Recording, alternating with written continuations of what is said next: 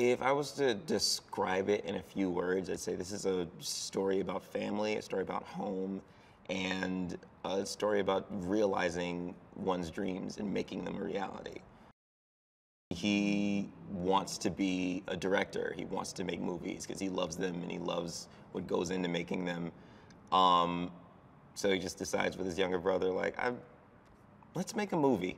You write it, I'll direct it, I'll say I'll work two jobs, save up a bunch of money, and then we'll do it. I have no clue what's gonna happen or how it's gonna turn out, but it might be great.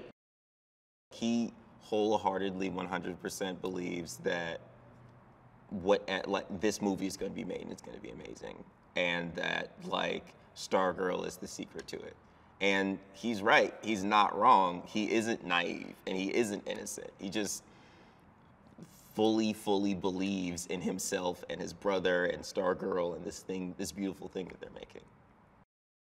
It's a good story about a bunch of people realizing that like their lives are better together and that they can have a crazy crazy dream and realize it with enough with enough help and enough friends and enough support. Like you can do anything you set your mind to